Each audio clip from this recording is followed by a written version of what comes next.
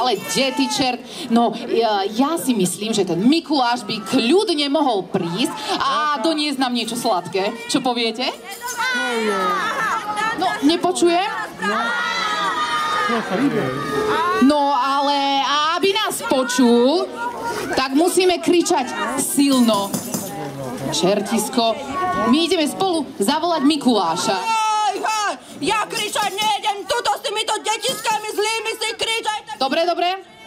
Tak ideme spolu, dobre? Uh, budeme kričať čo najhlasnejšie, áno, deti? Mikuláš. Takže pripravíme sa. Pozor, štart. Mikuláš! No, ak sa tak pozerám, tak Mikuláša stále nevidím, takže asi nás nepočul. Takže to skúsime znova, dobre, deti? Takže pripraviť sa, 3, 4. Ja ho už počujem. Ja si myslím, že už ide tak ešte raz, deti. Choď domov, choď domov, není ťa tu treba. Tieto deti idú do pekla so mnou. Nie, nie, ja už Mikuláša počujem a už sa mi zdá, že ho aj vidím. Poď sa, Mikuláš, dobre si, tu sú samé dobré deti. Nie, toto nie sú dobré deti, Mikuláš, choď preč, choď do Bystrice, Mikuláš, tu nie, vo zvolenie sú zlé deti. Ahoj! Tuto tak rozvoniava. A také farebné, pekné to tu je, že som sa sem hore skoro nedostal. Ahoj, deti. Pustiť tieto zlé deti. No, Mikuláš, a, a vidíš tu všetky tieto deti a všetky boli poslušné celý rok. Takže si určite niečo sladké zaslúžia. Boli ste dobré, deti? Teraz budú slúbovať, teraz povedia. ho. Rodičia, boli dobré deti? Áno! Takto. Rodičia. Deti ticho a len rodičia povedia.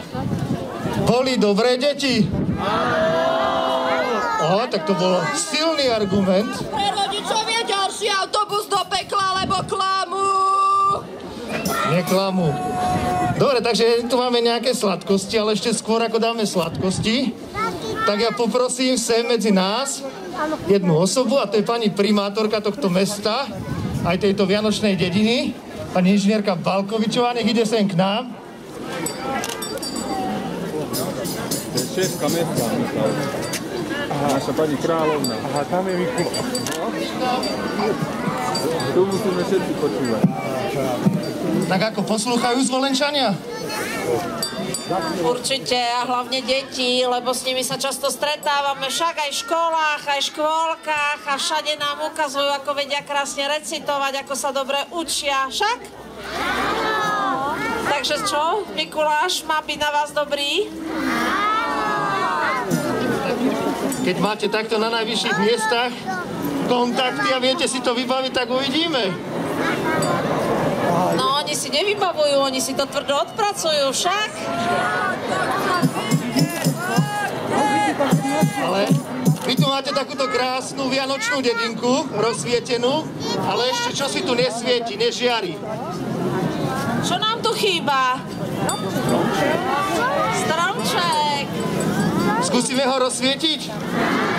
Dobre, a ja by som povedal takto, za trest, že je zlý, tak ho rozsvieti čert, dobre? A stromček by ste chceli, čo? By ste darčeky mali zase pod ňom. Dobre, takže stromček svieť ako v pekle hneď. Nič. Vyskúša to aniel, vyskúša to radšej aniel. Stromček svieť ako v nebi hneď. Martin, tam, kde je tá hviezda, kúkaj. Ešte nesvieti. Tento vianočný stromček asi rozsvietime len my s deťmi, takže deti, budete opakovať po mne, dobre? Všetci spomaj, čert, aniel aj pani primátorka, dobre? Ideme. Hurári,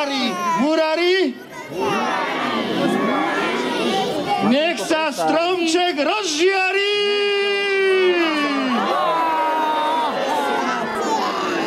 Podarilo sa!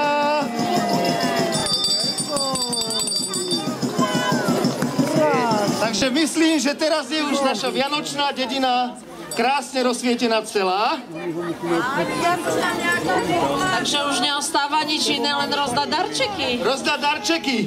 A keďže vás je deti veľa, tak aj ja som si zavolal na pomoc takých Mikulášov pomocníkov, ktorí sem bežia k nám cez celé námestie